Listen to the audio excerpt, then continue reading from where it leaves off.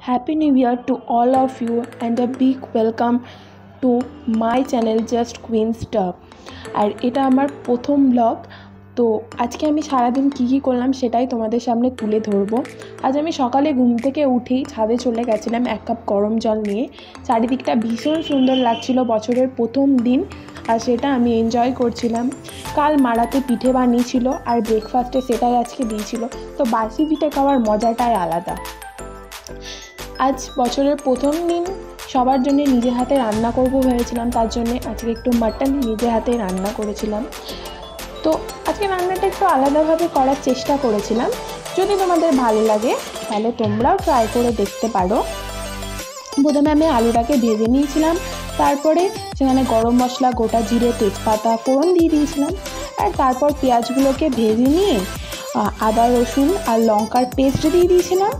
তারপরে জিরে গুঁড়ো, লঙ্কার গুঁড়ো, ধনে গুঁড়ো, হলুদ, একটু চিনি, সেগুলো দিয়ে ভালো করে মশলাটাকে কষিয়ে নিয়েছিলাম। তারপর একটা টমেটোও দিয়ে দিয়েছিলাম।